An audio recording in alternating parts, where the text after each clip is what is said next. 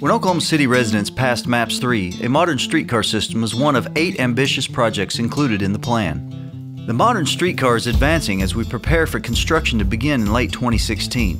This new transportation system will connect key destinations and further spur development in downtown and surrounding areas. Streetcars travel with traffic on rails embedded in the street. Commuters, downtown professionals, visitors, and others will use the streetcar to get around the downtown area. Six vehicles are being built in Brookville, Pennsylvania.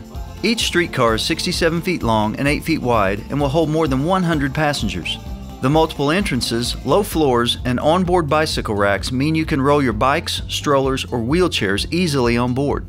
The sleek design and frequent service will help you get around quickly while leaving your car at home or in a parking garage.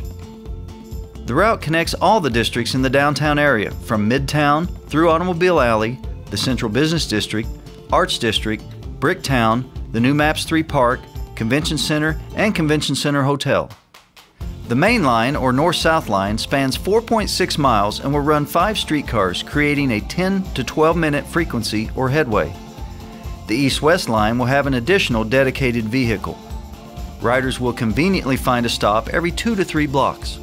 The streetcar will stop near the Embark Transit Center and Santa Fe Station to tie into other transportation systems. Embark will operate the streetcar for optimal transit integration. Streetcars will also feature wireless technology that will allow them to travel off-wire for several blocks. Rail and maintenance facility construction will start in the fall of 2016 and continue through 2018. The vehicles are on order now and will begin delivery in 2017. After a period of testing, the system will be ready for operation. The streetcar will encourage economic growth along the route and make downtown Oklahoma City a more vibrant place to live. For more information on this and other MAPS 3 projects, visit okc.gov/maps3.